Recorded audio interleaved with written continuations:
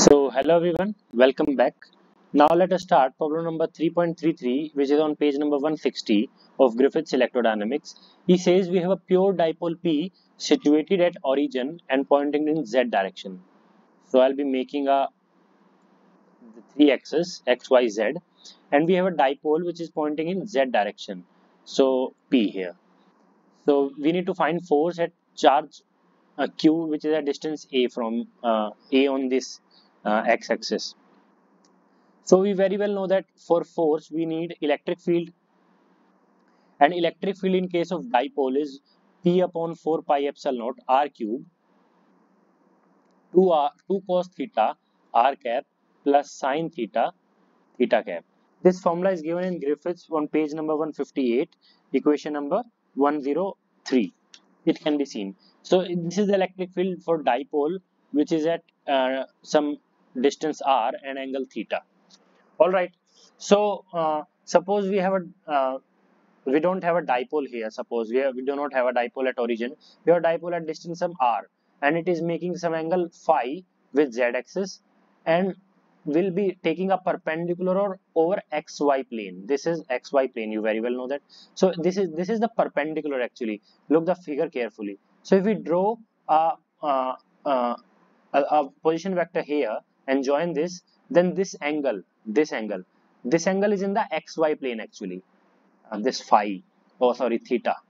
So this angle is in the xy plane and uh, this uh, phi angle is in the xy plane and it is perpendicular to the z axis and this this angle is theta here. I'm sorry. So this angle is theta. Let me write it again more clearly this is phi phi is the angle in the xy plane and theta is the angle in uh, in the uh, y, uh, yz plane actually the per plane perpendicular to x-axis so if the plane is perpendicular to x-axis and we have a point over x-axis then what is theta here? Theta should be pi by 2 why? Because the plane is perpendicular to x-axis that's why uh, theta is uh, pi by 2 because it, it makes angle 90 degree with uh, z-axis and what is r here? R is a. It is given in the question.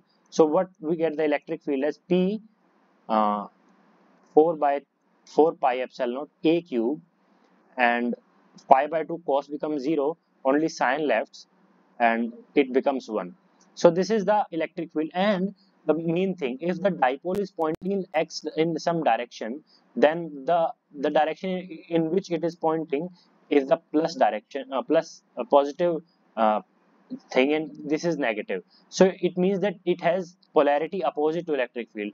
Means electric field uh, goes from positive to negative. It originates from positive charge and uh, uh, terminates to negative charge.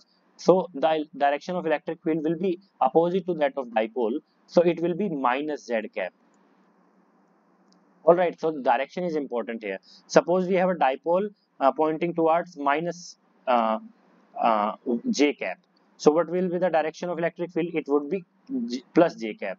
All right. So this thing is need to be cared in uh, further problems that we need to solve. Now coming to problem number B or part number B, is saying force on charge which is placed at uh, some somewhere here in the direction same as dipole moment. So if the direction is same, what is theta?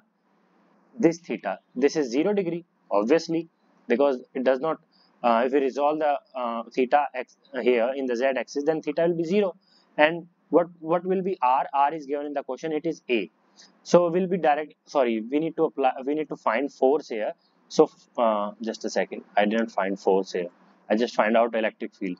So force here will be qp upon 4 pi epsilon naught a cube in minus z cap direction. And the direction of force is same as the direction of electric field. You very well know that.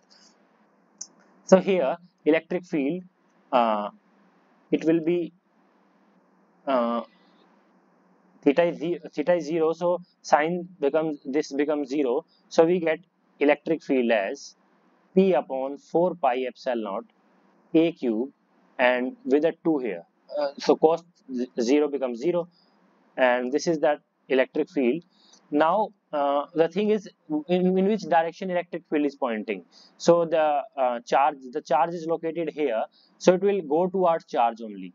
To uh, the uh, if the um, dipole moment is at origin so the electric field will will originate from the charge na? It will uh, go all over the uh, z axis. So here we'll write z cap and what will be force it will be 2 qp upon 4 pi epsilon naught a cube z cap. So the direction of electric field is opposite here because the charge is uh, somewhere here. All right. So we will be taking direction of electric field here. Now coming to part number C, is saying how much work done. So work done is we will know that Q into E, and we can write because we have uh, we, we need to take charge from A to this A. So from some angle 0 to uh, from angle pi by 2 to 0. So we'll write in uh, potential final minus potential initial. So Q into uh, we very well know that potential is P cos theta and first of all uh, what is cos theta upon 4 pi epsilon naught r square. So for uh, for a point which is at A, we, we get for a point which is at A, we get uh, we, we need to replace R by A square. So final final position is A uh, uh, 0 degree. Final position is 0 degree and initial position is pi by 2. So final minus initial so it becomes directly 0. So we get QP upon 4 pi epsilon naught A square. So this is the net work done. Joules you can write it. So this is the work done. This is the force. The, this in this case and this is the force in this case.